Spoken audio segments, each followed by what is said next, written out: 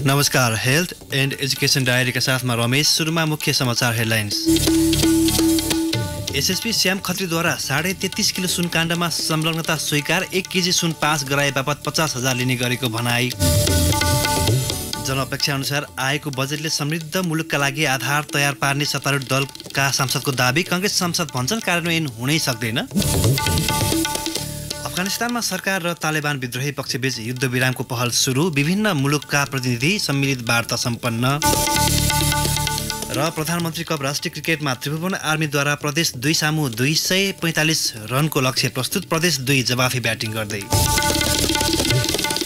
मुख्य समाचार हेडलाइन्सपछि health and education अब विस्तारमा। सरकारले शिक्षा क्षेत्रमा छुटाएको बजेटले आशा गरिएको जस्तो समृद्धि हासिल हुन नसक्ने शिक्षाविदहरूले बताएका छन्।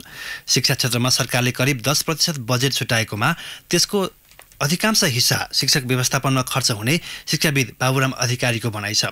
सरकारले बजेट मार्फत प्राविधिक तथा व्यावसायिक शिक्षामा जोड दिइने बताए पनि पर्याप्त भौतिक पूर्वाधारको अभावमा सम्भव नहुने अधिकारीले बताउनुभयो।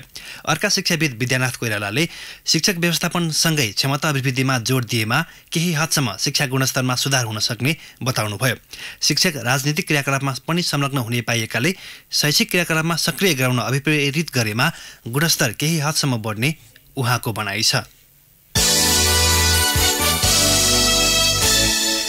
सिराहाका अधिकांश स्वास्थ्य केन्द्रमा सरकारले निशुल्क उपलब्ध गराउने औषधि अभाव भएको छ। स्थानीय तहले समयमै औषधि खरिद गर्न नसक्दा अधिकांश स्वास्थ्य केन्द्रमा अभाव भएको हो। कतिपय स्थानीय तहले औषधि खरिद गरे पनि अधिकांश स्थानीय तहमा दलीय टक्रावका कारण औषधि खरिद हुन सकेको छैन। लहान नगरपालिका सत्रका वडाध्यक्ष प्रथमलाल चौधरीले औषधि खरिदका लागि वडाको बजेटबाट पचास हजार विनियोजन गरेर भए पनि औषधि खरिद गरिने बताउनुभयो। चार दिनदेखि जीवन जल समेत सकिँदा उपचारका लागि आउने बिरामीलाई सिटामोल मात्र दिन सक्ने अवस्था रहेको मिर्सया प्राथमिक स्वास्थ्य केन्द्रले जनाएको छ। हेल्थ एन्ड एजुकेसन डायरीमा अब ब्रेकको पालो। अब बाँकी प्रसङ्ग सुतिजन्य पदार्थको प्रयोग गर्नेमा मुटु सम्बन्धी रोग बढी पाइएको चिकित्सकले बताएका छन्। सुतिजन्य पदार्थको प्रयोगले नसर्ने रोगलाई बढावा दिएको मुटु रोग विशेषज्ञ डाक्टर रत्नमणि गजुरेलले बताउनुभयो। त्रिवी शिक्षण अस्पतालमा मुटु सम्बन्धी समस्या लिएर पुग्ने सय मध्ये नब्बेजनाले सुर्तीजन्य पदार्थको प्रयोग गर्ने गरेको पाइएको उहाँले बताउनुभयो। हृदयघात मस्तिष्कघात मुटु तथा रक्तनली सम्बन्धी रोगको प्रमुख कारण सुर्तीजन्य पदार्थ रहेको चिकित्सक बताउँछन्।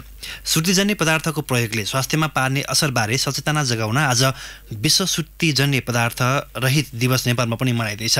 दिवसको अवसरमा सरकारी तर्फबाट कुनै औपचारिक कार्यक्रमको आयोजना नगरिए पनि विभिन्न ब्यानर पोस्टर पम्पलेट वितरण गरिएको स्वास्थ्य मन्त्रालयले जनाएको छ। यस वर्षको नारा सुर्तीजन्य पदार्थले मुटुलाई क्षति पुर्याउँछ स्वास्थ्य रोजौँ। सुर्तीजन्य पदार्थ होइन भन्ने तय गरिएको छ। सरकारले सबै सार्वजनिक स्थान तथा सवारी साधनमा धुम्रपान तथा मद्यपान निषेध गर्ने मदिरा र सुर्तीजन्य पदार्थको उत्पादन आयात तथा बिक्री वितरणलाई कार्यविधि बनाई व्यवस्थित गर्ने बताएको छ। पाँच मध्ये दुईजना अरूले खाएको चुरोटको धुवाँबाट प्रभावित हुने गर्दछन्। सुर्तीजन्य पदार्थको प्रयोगका कारण नेपालमा वर्षेनी पच्चिसदेखि तिस हजार मानिसको मृत्यु हुने गरेको मन्त्रालयको अनुमानित तथ्याङ्क छ। मोटोपन भएका महिलामा हृदयरोग देखिन सक्ने एक अध्ययनले देखाएको छ। तीस वर्ष मुनिका नब्बे हजार दुई सय सन्ताउन्न अमेरिकी महिलामा गरेको अध्ययनले मोटोपना बाहेकका रोग नभए पनि हृदयघात हुन सक्ने निष्कर्ष निकालेको हो। मोटोपन स्वास्थ्यका लागि हानिकारक अवस्था रहेको प्रतिवेदनमा उल्लेख छ। मोटोपनबाट उच्च रक्तचाप र मधुमेह नरहे पनि हृदयको समस्या हुने उसको निष्कर्ष छ। पाचन प्रणालीको समस्याका कारण मोटोपन हुने भएकाले यसबारे विवाद भने कायमै छ। उमेर बढ्दै जाँदा कोलेस्ट्रोल लगायतका समस्याले पिरुल्ने अध्ययनले देखाएको छ। हवस् त यिनै प्रसङ्गसहित हेल्थ एन्ड एजुकेसन डायरीले यहीँ सकिन्छ। साँझ पाँच बजे डिस्ट्रिक्ट डायरीका साथमा आउनेछौँ। अहिले रमेश बिदा हुन्छु। नमस्कार।